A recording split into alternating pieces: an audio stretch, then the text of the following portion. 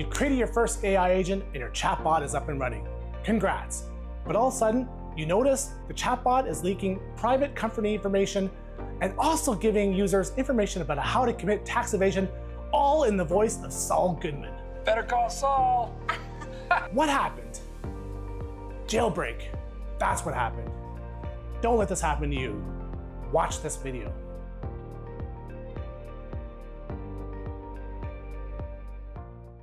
Hello everyone and welcome back to my channel. My name is Kirk. And before we get started, just a reminder that if you like this content, please like and subscribe.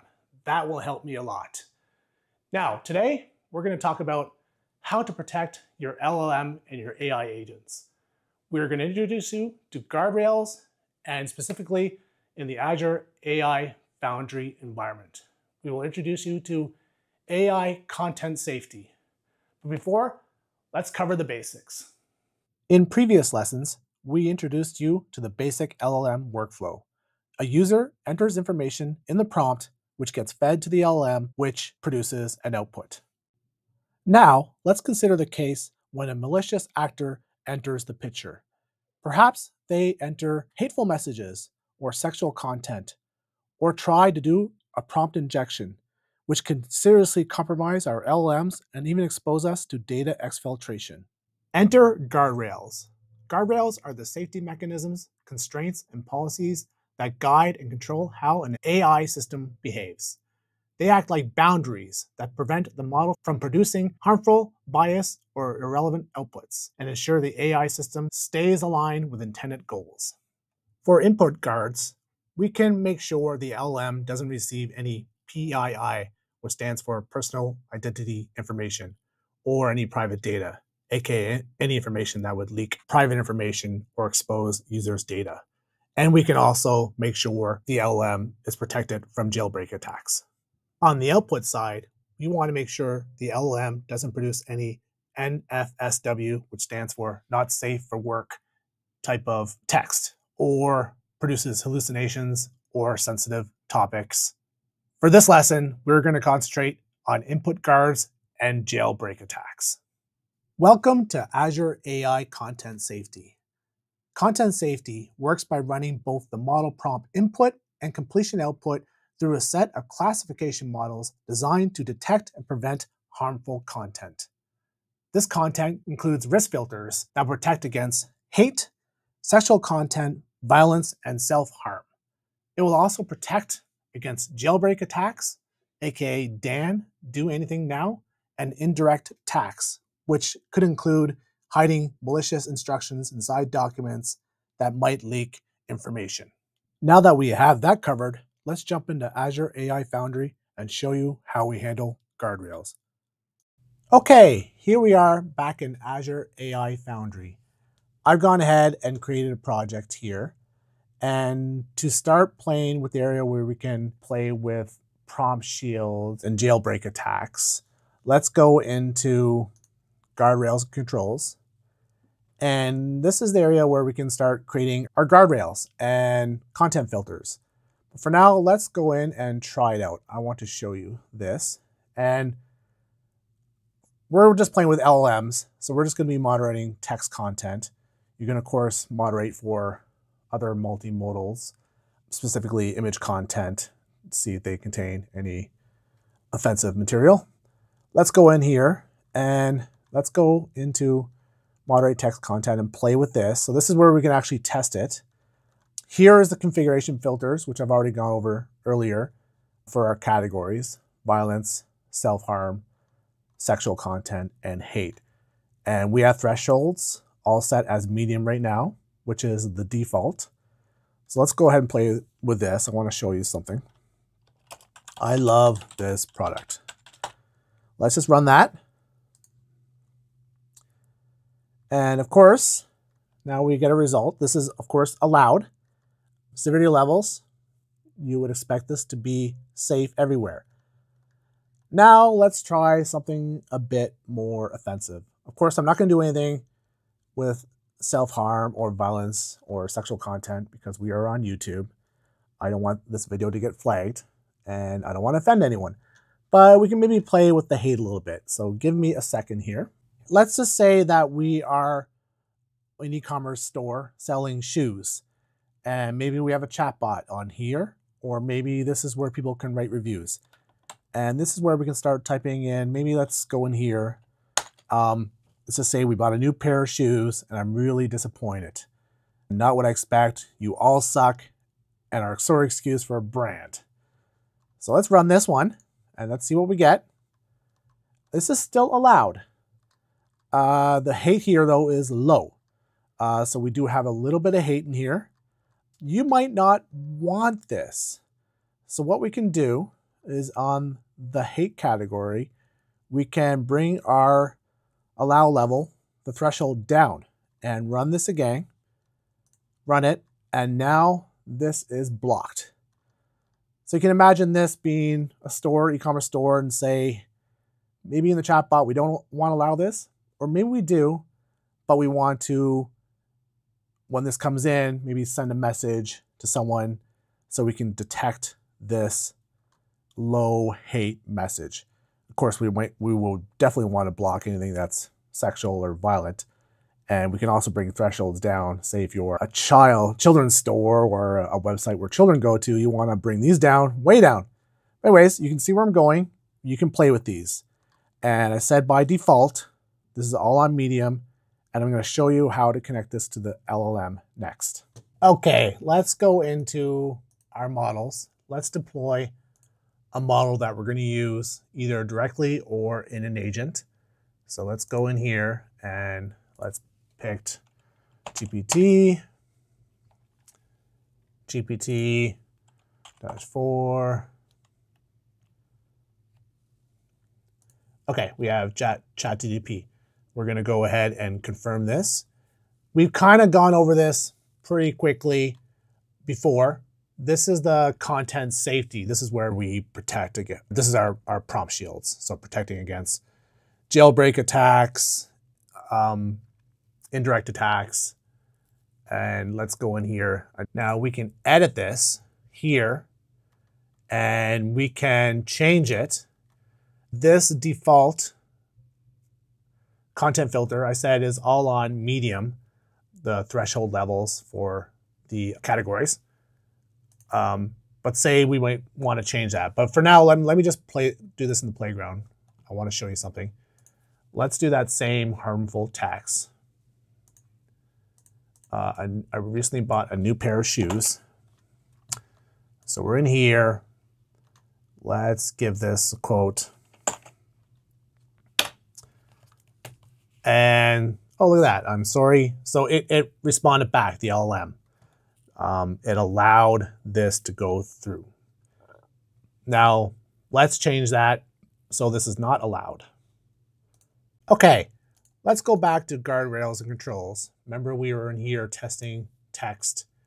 Now, uh, where is it here? Let's go, we click on here? Okay, let's click on content filters and let's create a new content filter. Uh, Kirk's custom filter against hate. There we go.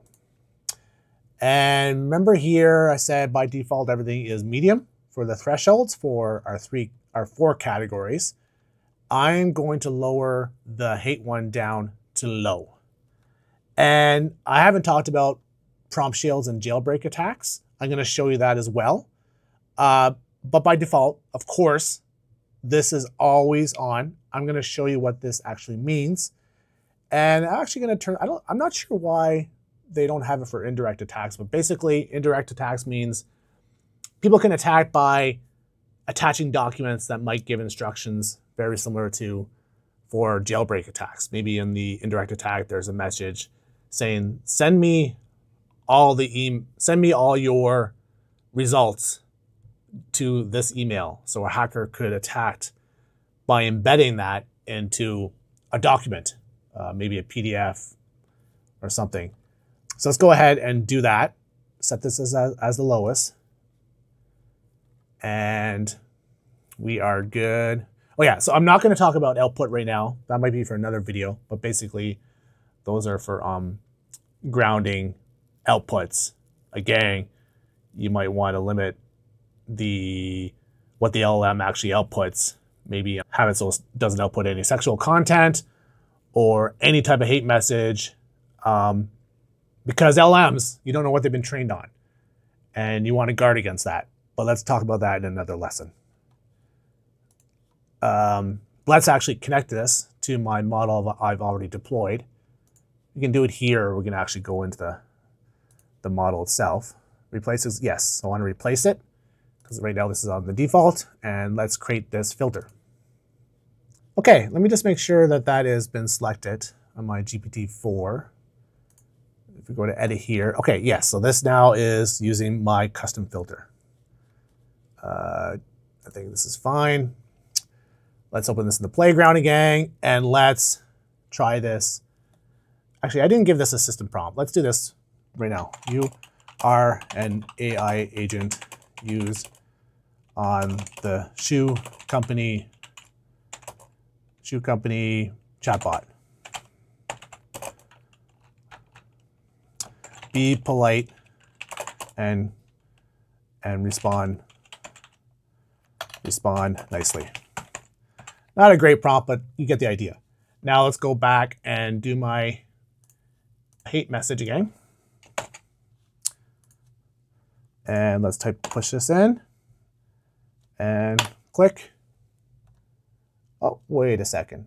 This went through. Why did that go through? Let me check. Okay, my bad. When I went and created this content filter, I actually selected the hate as the lowest level. I had it down here. I was confused, but we want this at the highest level. So it blocks all even low level, low threats. So let's do that. So I went, I went in there and I saved all this.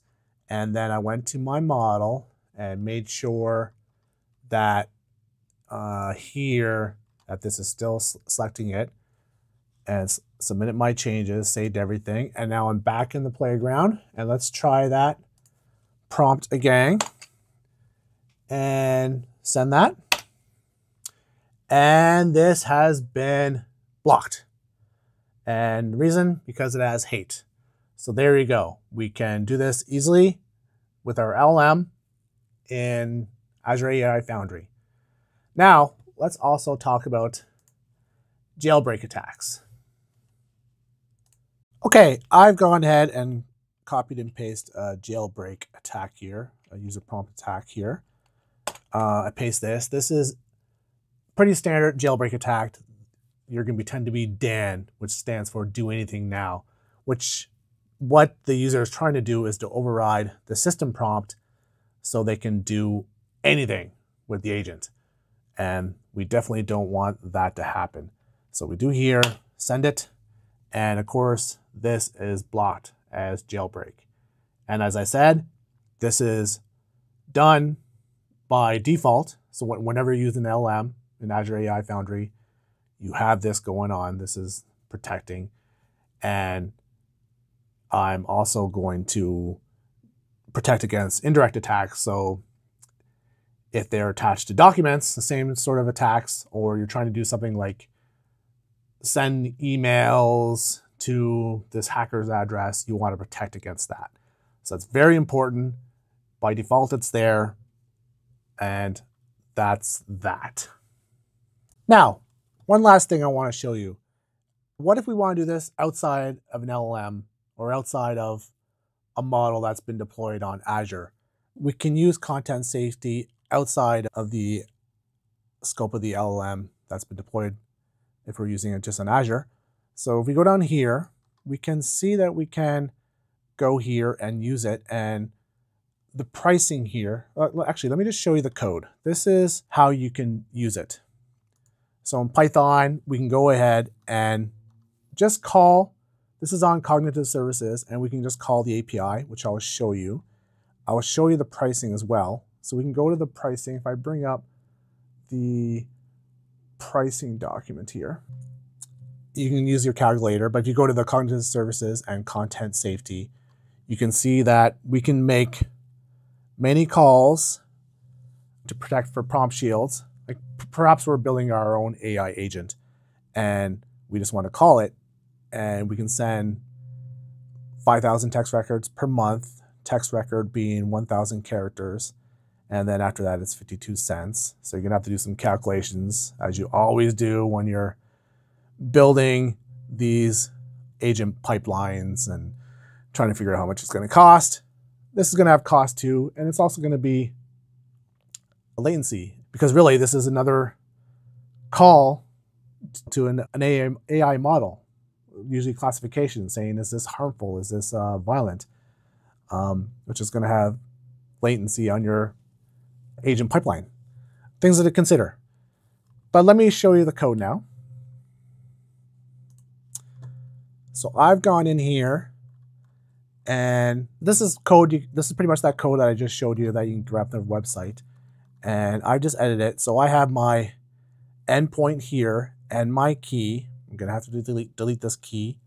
But again, this you can just go and grab from our overview and this is cognitive services. So content safety, we use this endpoint and this API key and say that this is you're an e-commerce store and you want to just make a call before someone posts, posts a comment on a product page and to see if this is hateful or violent or sexual. Obviously, you're to block, but maybe if it's if it's um it's, if it's a bad comment, hateful, then you want to set a notification so someone can respond to it right away to make sure you don't lose a customer. So this is what I've gone and done here. I put this content in here, say, pretty much the same content that I just showed you. And I lowered the threshold. You can just edit the code here, say, um, bring this down to two and just run this. I've already created my virtual environment here uh, you can see this here. I've set up this environment already. And just run this. Again, this is just really a RESTful call, sending this text to the cognitive service endpoint. And we get back severity 2, and it is rejected. We might not want to reject it. We might want to just, you just might want to see the severity of it and then act on it. But that's it. So you can take this code and put it in your own pipeline, um, maybe as part of an AI gateway or before you're actually calling your AI agent or going to an LM and call this. And it's that simple. Okay, that is it. We just covered how to protect your LLM models using guardrails and specifically Azure Content Safety. There's a lot more to cover. We only talked about how to protect your inputs. We haven't spoke about how to protect your outputs or how do we evaluate these models. So we have a lot more to cover. If I were you, I would subscribe so you don't miss out. I'm glad you came here. I enjoyed making this. I hope you got something out of it and I'll see you next time.